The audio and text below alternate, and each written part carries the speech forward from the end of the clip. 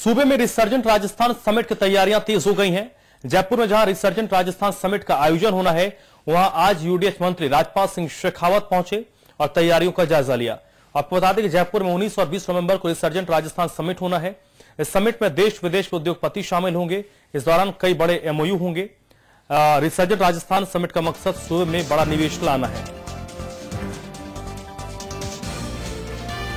पूरा करने का नज़दीक है और मैं समझता हूँ कि रिसर्जन राजस्थान से पहले पहले जो जो टारगेट जिस डिपार्टमेंट को दिए थे, वो सारे टारगेट हम अचीव कर लेंगे एक एलिवेटेड रोड को छोड़ करके एक एलिवेटेड रोड का अचीवमेंट हम चाहते थे कि उसको रिसर्जन राजस्थान से पहले पूरा कर दें। एक काफ़ी डिलेड प्रोजेक्ट था, काफ़ी तेज़ी से काम किया। पर तेज़ी से काम करने के बावजूद उसकी क्वालिटी से चूँकि कम्प्रोमाइज नहीं किया जा सकता, उसकी सेफ्टी से कम्प्रोमाइज नहीं किया जा सकता it's despite of all efforts एक उस काम को पूरा नहीं कर पाएँगे। बाकी जितने भी टारगेट वेरियस डिपार्टमेंट्स को दिए हैं रिसर्जन राजस्थान को लेकर के वो सारे टारगेट हम पूरे कर लेंगे।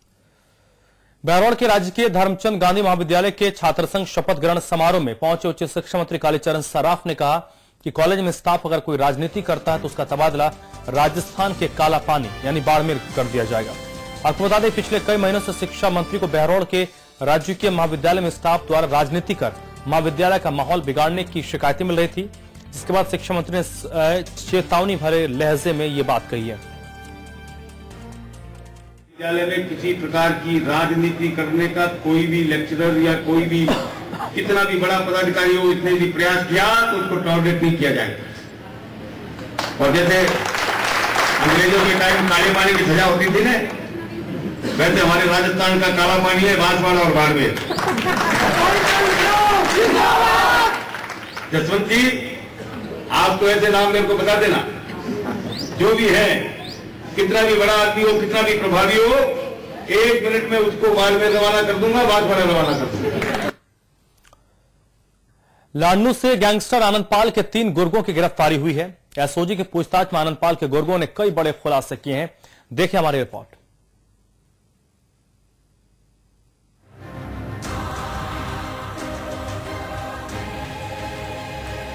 सत्तर दिनों से खुली हवा में आनंद ले रहा आनंदपाल लेकिन पुलिस के हाथ अब तक नहीं लगा कोई छुरा। हाँ इतना ज़रूर है कि गैंगस्टर आनंद पाल को गिरफ़्तार करने के बारे में जब भी पुलिस से सवाल किए जाते हैं तो पुलिस कार्रवाई के नाम पर छापेमारी करती है और उसमें एक या दो छोटे मोटे गुर्गे को गिरफ़्तार कर लेती है। लेकिन खाकी के मुँह पर तमाचा मारकर फरार हुए आनंद पाल का कोई पता नहीं चलता। अब आनंद पाल को पकड़ने के लिए खाकी खाक छानते हुए लाडनू पहुँची तो मारे खुशी के मानो झूम रही हो, क्योंकि उसने तीन युवकों को गिरफ़्तार किया है। और खाकी दावा कर रही है कि पकड़े गए तीन बदमाश आनंदपाल के गुर्गे हैं। लेकिन यहाँ भी पुलिस की नाकामी साफ़ दिखाई दी क्योंकि कुख्यात सुभाष मुंड भागने में कामयाब रहा। वाले मामले में वांटेड है इसका पाँच हज़ार का इनाम घोषित है। चार मुलजिमों से तीन गिरफ़्तार हो गए एक फरार है जो बीरबल बलबीर सिंह निम्बोद का है।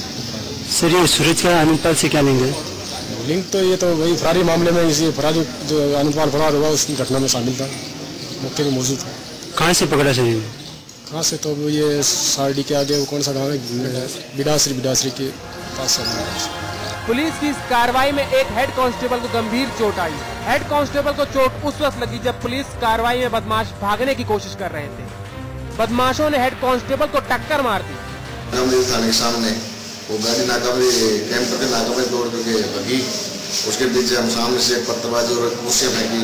नहीं उसके बाद मैं प्राइवेट गाड़ी लेके बोला और एस साहब सरकारी लगे लगे ये दो घंटे बाद तकरीबन पकड़ेंगे जिसके पास एक तो रिवॉल्वर मिली। और कारतूस थे गिनती नहीं सौ के आसपास।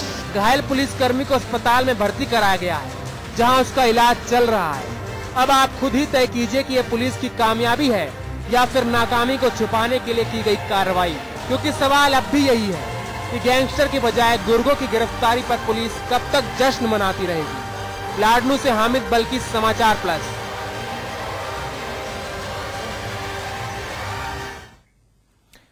नागौर के मकराना में पुलिस हिरासत में युवक की मौत के मामले में समाचार प्लस की खबर का असर हुआ है।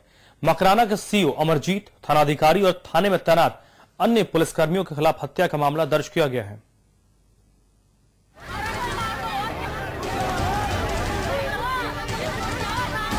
लकी हत्याकांड के आरोपी की पुलिस हिरासत में हुई मौत ने बवाल मचा दिया। बवाल ऐसा कि आरोपी के खून से खाकी रंग गई। खाकी पर खून के छींटे पड़े तो सवाल खड़े हो गए और उन सवालों का जवाब जानने जनता सड़क पर आ गई। जनता ने सवाल किए तो हंगामा मच गया और अपनी नाकामी छिपाने में लगा सिस्टम सड़क पर दौड़ने लगा। कोशिश जनता की आवाज़ को दबाने की हुई, लेकिन जनता किसी भी शर्त पर राज़ी नहीं हुई। हार कर खाकी के दो खलनायकों के खिलाफ केस दर्ज किया गया। मसलन अतीत पुलिस अधीक्षक राम कुमार ने मकराना कस्बे के सीओ अमरजीत और मकराना थाना अधिकारी समेत थाने में तैनात कई पुलिस वालों के खिलाफ केस दर्ज कर लिया ये अजमेर में इसका पोस्टमार्टम होने के बाद में कल डेड बॉडी यहाँ ले आए थे। उसके घर पे रखी थी दाह संस्कार नहीं किया उन्होंने। तो कानून व्यवस्था की स्थिति बनी थी। और इस प्रकरण में कानून व्यवस्था शांतिपूर्वक निपट गई है। और अब का संस्कार कर दिया गया मांगे मेरे सामने तो उनकी एफ़ दर्ज करने की बात हुई थी जो दर्ज हो चुकी पुलिस पर अपने काले कालरों पर कार्रवाई करने में 36 घंटे लग गए। वो भी तब, जब जनता सड़क पर हंगामा कर रही थी और पुलिस यहाँ से वहाँ भाग रही करीब 36 घंटे तक शव अंतिम संस्कार का इंतज़ार करता रहा 36 घंटे मचे बवाल की वजह का कोई जवाब प्रशासन के पास नहीं है। जिम्मेदार प्रशासन कार्रवाई में देरी के लिए जाँच की बात कर रहा है। लोगों ने कल एफ़ दी थी और वो तीन सौ दो आई के तहत एफ़ दर्ज हो गई है। और जो कस्टोडियल डेथ है उसके बारे में। अधिकारी को पुलिस के जो नामजद किए गए हैं और कुछ अन्य बताए गए हैं। उनके- उनकी की जो एफ़ मान का कस्टोडियल डेथ का मामला है जुडिशियल मजिस्ट्रेट इसमें जाँच करते हैं। उनके करेक्शन में सारा पोस्टमार्टम होता है। और वही उनकी जो रिपोर्ट होती जाती है इसको ह्यूमन जाती है। तो प्रक्रिया में टाइम लगता है। फिर कुछ लोगों का इनका असंतोष भी था कुछ बातों को लेकर तो और बाद में कार्रवाई कर ली गई शर्म आती है राजस्थान पुलिस का ये हाल देखकर, जहाँ जनता इंसाफ मांग रही थी और जिम्मेदार जाँच की चादर डालकर घूम रहे थे। अब केस दर्ज करने के बाद मृतक का अंतिम संस्कार करा दिया गया है। लेकिन अभी भी वही सवाल ज़िंदा है कि हिरासत में मौत का जिम्मेदार कौन? क्या पीड़ितों को कभी इंसाफ मिल पाएगा? और सबसे बड़ा सवाल यही है कि क्या दोषियों पर कभी कार्रवाई हो पाएगी? या फिर केस बस फाइलों पर दर्ज होकर रह जाएँगे। नागौर से यूनुस के साफत समाचार प्लस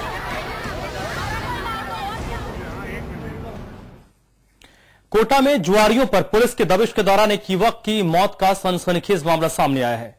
मृतक युवक के परिजनों ने पुलिस पर हत्या का आरोप लगाया है। गुस्साए परिजनों ने उद्योग नगर थाने के सामने शव रखकर प्रदर्शन किया। और आरोपी पुलिसकर्मियों पर कार्रवाई की मांग की है। मामला उद्योग नगर के धाकड़ खेड़ी इलाके का है, जहाँ पर जुआ खेलने की सूचना पर दबिश देने गई पुलिस के आते जुआरियों में अफरा तफरी मच गई। जुआ खेल रहा, महेंद्र भी मौके से भागा। इस दौरान महेंद्र की साँसें फूलने लगी और उसकी मौत हो गई। परिजनों का आरोप है कि पुलिस ने जुए के नाम पर महेंद्र को जबरन दौड़ाया, जिससे उसकी मौत हुई है। मौके पर पुलिस उपाधीक्षक सिद्धांत शर्मा के ने पोस्टमार्टम रिपोर्ट के आधार पर कार्रवाई का भरोसा दिया। तब जाकर लोग शांत हुए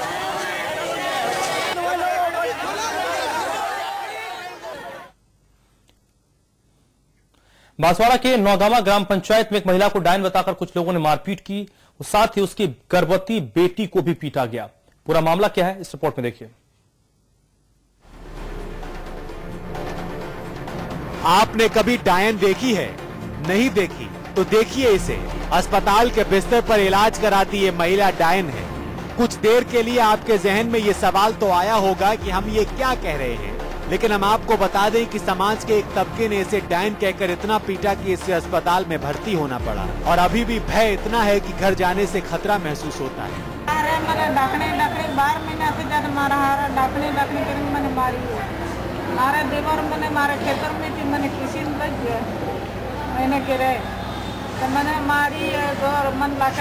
मटका मारे हारे मैंने करी मारी। बांसवाड़ा में कलिंजरा थाना क्षेत्र के नौगामा ग्राम पंचायत के चौबड़ा तलाई गाँव में इस महिला को डायन बताकर बुरी तरह पीटा गया और जब पीड़ित महिला की गर्भवती बेटी नीरा उसे बचाने गई तो आरोपियों ने उसके सिर में लाठियों से वार करके बुरी तरह घायल कर दिया। हम आपको बता दें कि पीड़ित महिला की बेटी सात महीनों के गर्भ से है। सामाजिक होने का दिखावा करने वाले गाँव के लोगों ने पीड़िता की बेटी के पेट पे लात मारी और डायन की बेटी कहकर लगे छोड़ो भाग गई हूँ किस बात के लिए मारा? मन लाकड़ बाती मार गड़बाई डाके नहीं करी आई नहीं तो छोड़ो भाग मैंने काट ली थी लात पमड़ी अभी होके हकीकत तो ये है कि इन महिलाओं के दर्द को पुलिस ने भी नहीं समझा और उन पाँचों आरोपियों को पकड़ने में पुलिस ने कोई दिलचस्पी नहीं दिखाई जबकि पीड़ित ने थाने में नाम दर्ज रिपोर्ट की। उनको साल भर से डाकड़ी डाकड़ी करके रोज दिन गाली देते रहते और लठ कुछ हथियार लेके मारने आते तो मेरी सासू खेत में कुछ खेती का काम कर रही थी।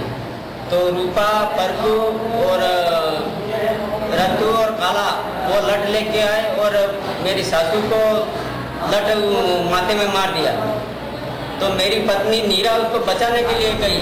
टाइम बताकर पूरे परिवार को बुरी तरह से पीटा गया और पुलिस के कान पर जू तक नहीं रही। क्यों? ये सवाल है और जवाब मिलना ही चाहिए। बांसवाड़ा से राजेश समाचार प्लस। सीकरी के पहाड़ी थाना के एएसआई पर बुज़ुर्ग महिला के साथ दुर्व्यवहार का आरोप लगा है। सोमका गाँव के एक बुज़ुर्ग महिला की ज़मीन पर गाँव के दबंगों ने कब्जा किया जिसकी शिकायत करने गई महिला से एएसआई ने भी बदसलूकी की।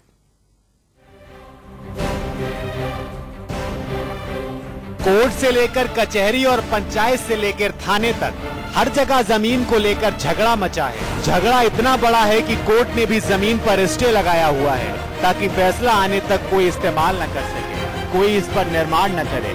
लेकिन कहते हैं कि जब खाकी खलनायक बन जाती है तो सारे नियम छोटे पड़ जाते हैं, कायदे खत्म हो जाते हैं। सीकरी में यही हुआ, जहाँ 75 साल की एमना की ज़मीन का लंबे वक्त से दबंगों से झगड़ा चल रहा था। सालों से ज़मीन चौपट पड़ी है, लेकिन अब दबंगों को पुलिस का साथ मिल गया है, जिसके बाद दबंगों ने ज़मीन पर निर्माण कार्य शुरू करा दिया। निर्माण का विरोध जब बुज़ुर्ग ने किया और वो दबंगों की शिकायत करने थाने पहुँची तो खाकी का खौफनाक चेहरा सामने आ गया। और अपन ने उन्हें स्टे लगाई है। मैं तो दो अदालत जीत के और हाई जीती बैठी हूँ और ज़बरदस्ती मेरा मकान है बना रहा है। नयो नयो निर्माण। नयो निर्माण करा मैं थाना पे पहुँची हूँ।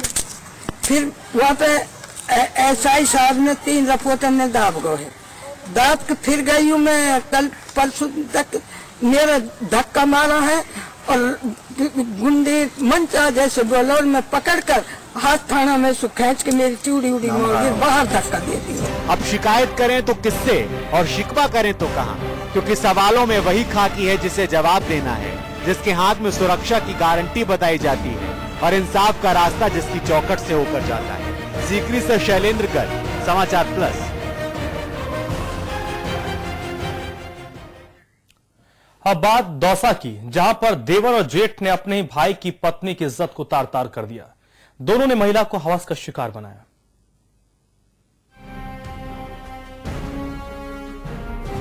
महिला अपनी इज़्ज़त बचाए तो कहा? जब रिश्ते के भेड़िए घर में ही बैठे हों, भाई समान देवर जब भाभी पर गंदी नज़र रखने लगे तो कैसे बचा जाए?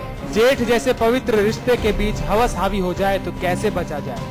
क्या किया जाए? कहाँ जाया जाए? ये सवाल इसलिए, क्योंकि दौसा में एक पति अपनी पत्नी के लिए इंसाफ मांग रहा है। क्योंकि उसका बड़ा और छोटा भाई वैशी बन बैठे हैं, और दोनों ने अपनी ही बीच वाले भाई की बीवी को निशाना बनाया।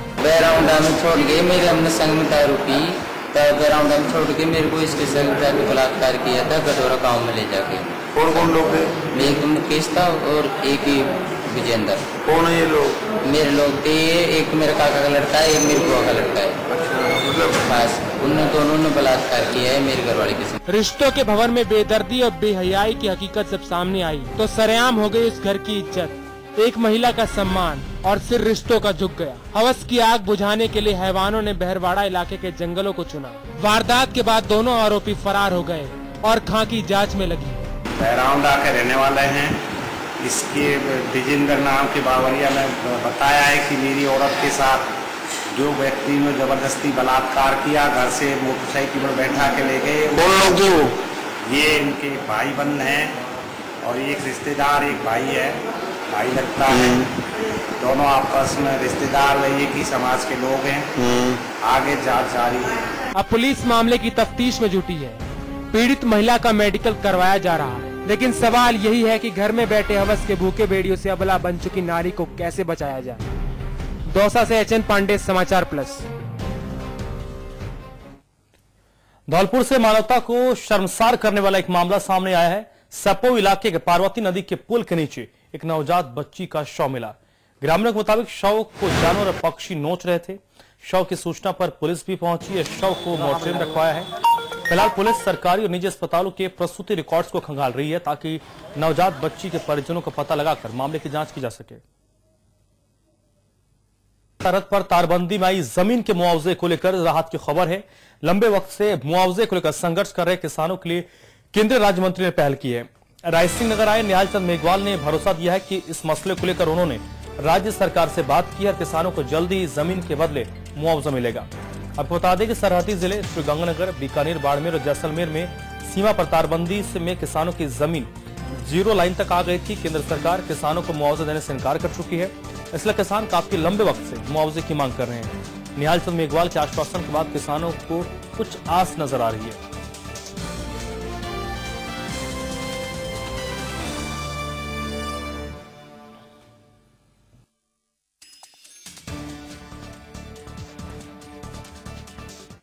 सीमावर्ती क्षेत्र के किसानों के लिए मुआवजे के रूप में हमारी सरकार से बात हुई है। सीमावर्ती क्षेत्र माइंस में सीमावर्ती क्षेत्र के जो कंट्री तक जो ज़मीन आई थी, उसका मुआवजा हमने पहले चार करोड़ रुपए किसानों को दे दिया था। लेकिन पाकिस्तान सीमा और कंट्रीता के बीच में किसानों की जो ज़मीन है, उसके लिए सरकार से हमने बात की है। दिवाली के दिन श्रीगंगानगर के सरहदी इलाकों से पकड़े गए बांग्लादेशी नागरिकों से पूछताछ में कई खुलासे हुए हैं। संयुक्त जाँच एजेंसियों में सामने आया कि इन लोगों को तारबंदी पार करवाने की कोशिश में बिलाल नाम के दलाल की भूमिका अहम है। बिलाल ने इन बांग्लादेशियों को चोरी छिपे पाकिस्तान पहुँचाने के एवज में पैंतीस हज़ार रुपए लिए थे। पकड़े गए बांग्लादेशी सात नवंबर नवंबर को रेलगाड़ी के ज़रिए बांग्लादेश से पश्चिम बंगाल की मालदा दिल्ली होते हुए राजस्थान पहुँचे, जिसके बाद वो 10 नवंबर को श्री गंगानगर पहुँचे।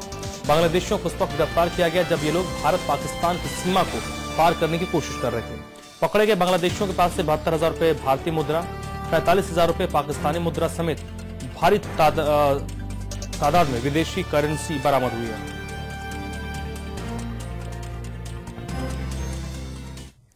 अलवर ज़िले में अवैध खनन का खेल धड़ल्ले से चल, चल रहा है। पुराने डेट की रॉयल्टी दिखाकर खनन माफिया प्रशासन को बेवकूफ़ बना रहे हैं जिससे सरकार को लाखों रुपए का चूना लग रहा है। इसका खुलासा उस वक्त हुआ है जब खनिज विभाग और पुलिस की कार्रवाई में ट्रक से दो लाख रुपए का जुर्माना वसूला गया। टीम ने इस दौरान एक ट्रक को जब्त किया है, जो चार नवंबर को रसीद रवन्ने के रूप में दिखा रहा था। कार्रवाई के दौरान ट्रक चालक मौके से फरार हो गया। टीम ने ट्रक पर एक लाख बारह हज़ार का जुर्माना लगाया है।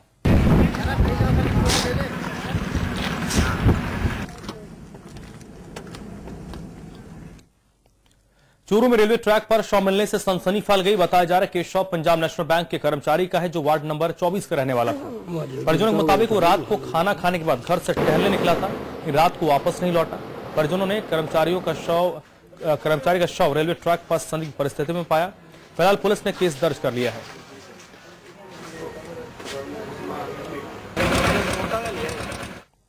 बुआना कस्बे में सूरजगढ़ रोड पर एक युवक का शव संदिग्ध परिस्थितियों में मिला।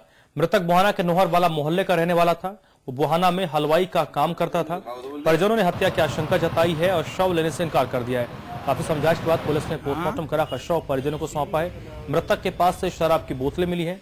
पुलिस ने मामला दर्ज किया है जाँच की ज़िम्मेदारी थाना प्रभारी को सौंपी है। आज गोहाना निवासी विनोद कुमार स्वामी, जो कि शराब पीने का आदि था, उसकी डेड बॉडी गाँव के बाहर एक ढाबा है, वहाँ पर मिली है। परिजनों को सूचित कर दिया है।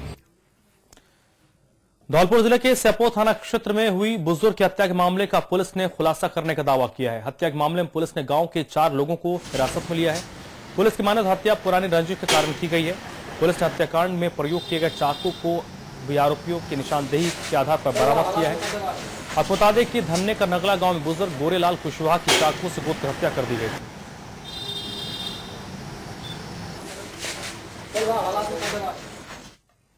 अलवर के टप्पुकड़ा में साफ़ सफ़ाई की बात को लेकर दो गुटों में फायरिंग हुई है। फायरिंग में दस लोग जख्मी हुए हैं। सभी घायलों को टप्पुकड़ा के सरकारी अस्पताल में भर्ती करवाया गया है।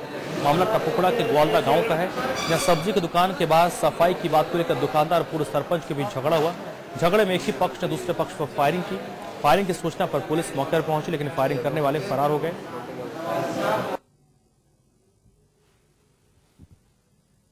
जिस छोरे से झगड़ा हुआ वो बेचारा खोखा जमा रहा था। सब्ज़ी के लिए।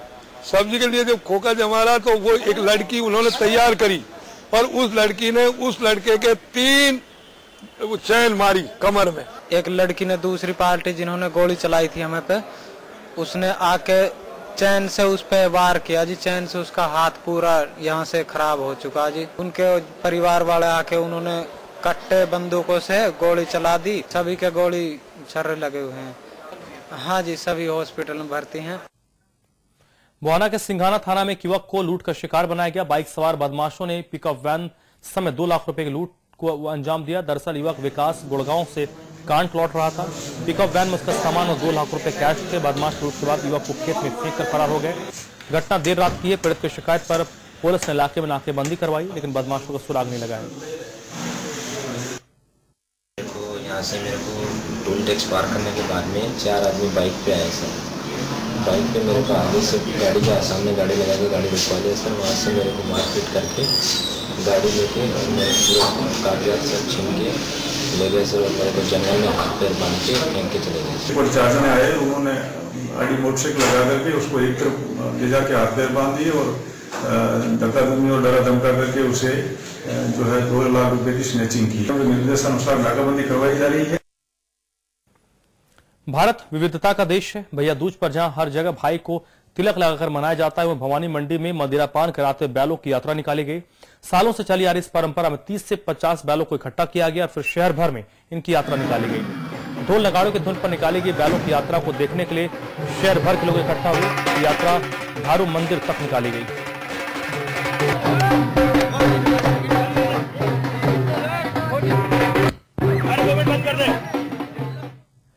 प्रतापगढ़ की अंबा माता का मंदिर अपनी महिमा के लिए मशहूर है। दिवाली के ठीक दो दिन बाद यहाँ मेले का आयोजन किया जाता है, जिसमें हज़ारों श्रद्धालु पहुँचते हैं। माता के मंदिर में भक्त अपनी मनोकामना लेकर पहुँचते हैं। माता के पास फूल रखते हैं। ऐसी धारणा है कि अगर फूल गिर जाती है तो मन्नत पूरी हो जाती है।